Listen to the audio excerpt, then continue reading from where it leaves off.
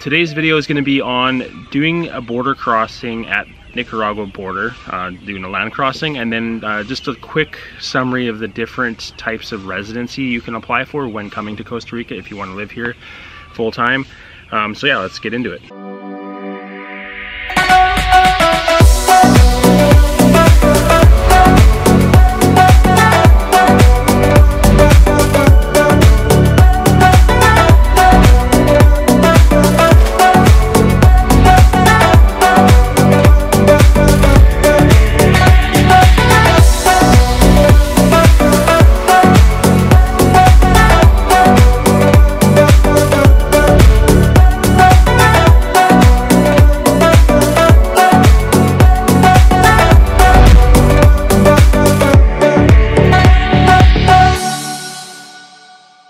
Alright, so when you go to the Nicaragua and Costa Rica border crossing to the north, Peñas Blancas, you're to find like when you're getting up to the border, there's to be a lot of semis sometimes parked. Um, they have made it a lot better where they made an extra lane now so that you can kind of get around them. Uh, the first time we went, it was like lineup of trucks for miles and our shuttle driver like went into the other lane and into the ditch.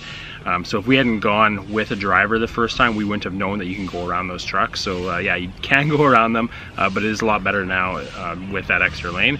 Um, so you're gonna go past that. So you're gonna enter, um, there's like a gate with a, a, little checkpoint for the trucks. You're gonna go through that. And then when you get there, just before the Costa Rica border uh, building, to the right, you're gonna see a little green hut. So you're gonna have to go there to pay your exit tax. And at the current date, which is January 2020, uh, the exit tax at the border is $9. It used to be eight, so they have switched it to nine. So yeah, it's $9 now. Um, so if you drive, you can just stop there, jump out, get to your exit tax. Uh, they'll give you a little slip which you don't need. And then if you go through the, where the little fence is, there's a parking lot to the right and you can pay someone there uh, to watch your vehicle, make sure it's safe. Uh, you just pay them when you get back. So yeah, just uh, stop there, or if you're with a shuttle, they'll just drop you off at that point as well, where the where the parking lot is. Then you're gonna walk towards the uh, Costa Rican building. You're gonna go in there. They're gonna give you your exit stamp, and then once you're done there, there's a bit of a walk. It's a long straight road that you take past semis. Um, there's little guys on bikes. If you don't want to walk it, they'll uh, they'll bike you across. Once you're done walking that long strip, there's going to be another little uh, building where uh, Policia are and they're just going to check your uh, passport, make sure you have your exit stamp uh, for everybody that you're going with. Once you're done that little building, you're gonna go over to, across the road to the left and there's another little tent. I'm not sure what this tent's for. I don't know if it's a medical thing, um, but they're just basically checking uh, how many people are going through and what nationality you are. They'll also look at your passport, so you gotta keep your passport out while you do this whole routine. This is where it changes from the last time we went, or the last time we did a video. Instead of going straight now to the Nicaragua border building, it's actually a nice new big white building to the right.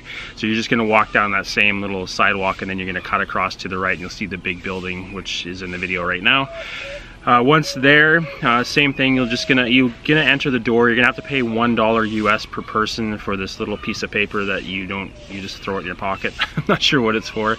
And then uh, you're gonna wait in line for the next available uh, customs officer. And then at that point, they're gonna ask uh, where you're going, what your intentions are, um, and how long are you're going to be in the country, that kind of thing. And uh, this point, you pay them $12. They're going to give you the entrance stamp into Nicaragua. So um, I know a lot of people just do a border run to the border and back just to get their visa stamp. Uh, we try to go into the country and make a little vacation out of it. Sometimes we have to do a quick uh, just border run there and back.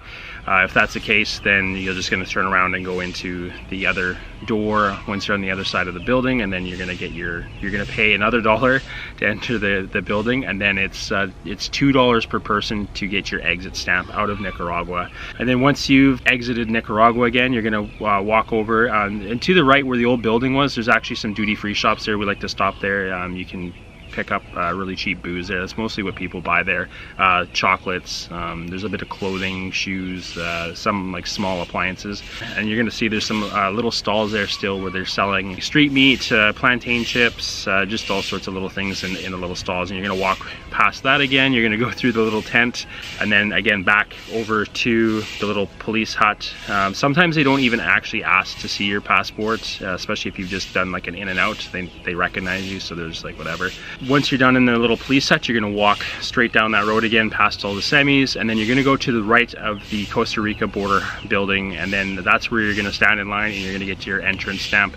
To get your entrance stamp, uh, it doesn't cost anything, but you do have to have a proof of exit ticket, so whether it's a plane ticket uh, or a bus ticket, uh, you're gonna have to show that. You're also gonna have to tell them where you're where you're going, where you're headed, um, where you're staying. But yeah, that's it. It's a pretty easy process once you know how to do it, which is why I wanted to make this video just to show you the the new building and then where the little green hut is to pay your exit tax when you're leaving Costa Rica. Land exit tax is actually cheaper than the if you fly out. Fly out I believe is $30 or 29 or $30. Uh, we haven't flown out yet. We've just done border uh, crossing. So yeah, it is a, little bit more expensive when you fly out.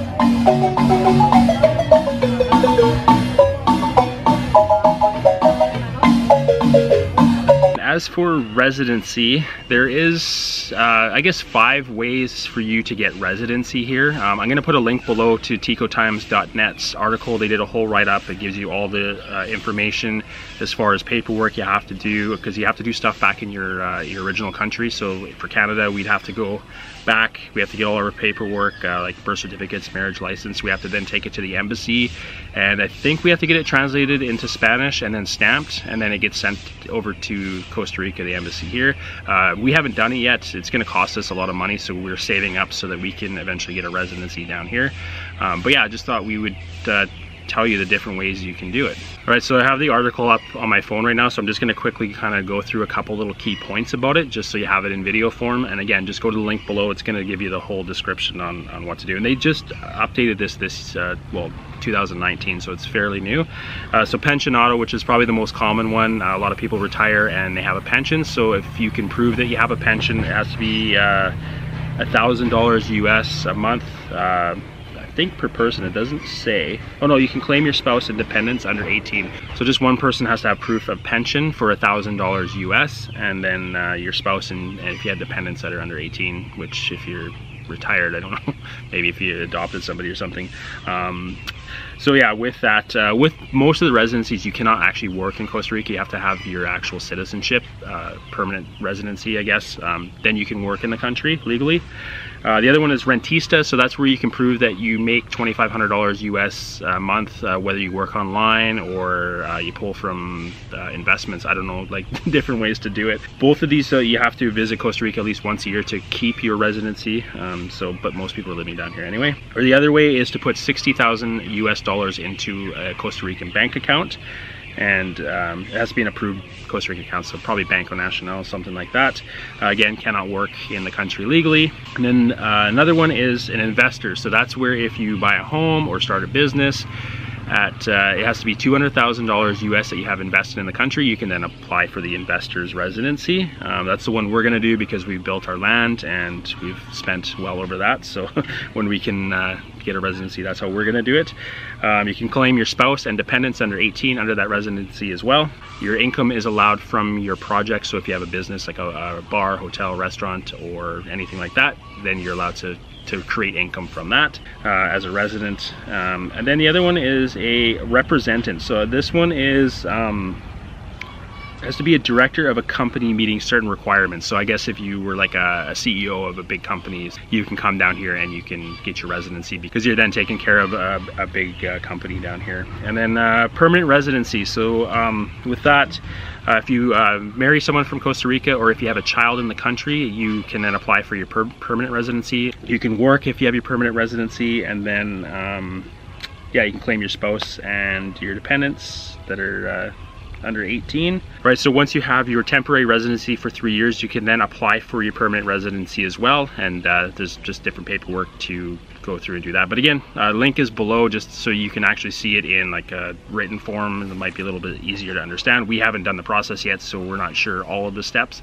And uh, yeah, uh, can't wait to get ours down here and not have to do uh, border runs or fly out of the country every three months. As much as fun as it is, it's uh, it it is time consuming because you got to do it four times a year. All right, so that's it for this video. Uh, I think this is the last one in the series for now until we get some more questions uh, or we can think of something else. Uh, yeah, we just want to thank everybody for watching this series and uh, we hope that all the answers we've given to everybody's questions have been a huge help for everybody.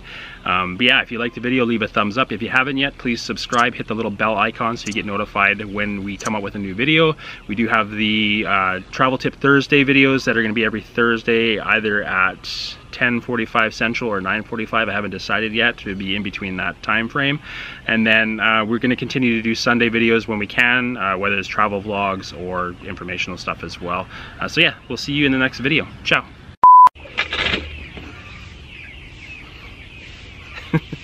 Shayna's not going to be in this video. She's sitting in the house right now.